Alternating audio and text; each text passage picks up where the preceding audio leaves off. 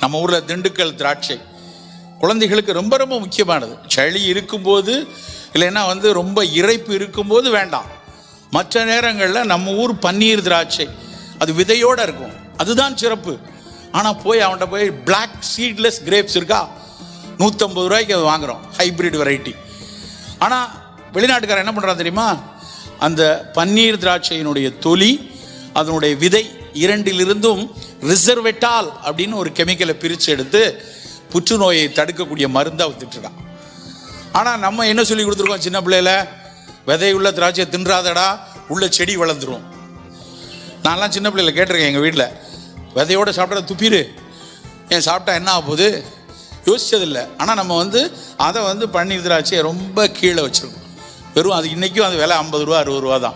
ஆனால் இரநூறுபாய்க்கு seedless grapes எடுக்கும் நம் குழந்தைகளுக்கு நம்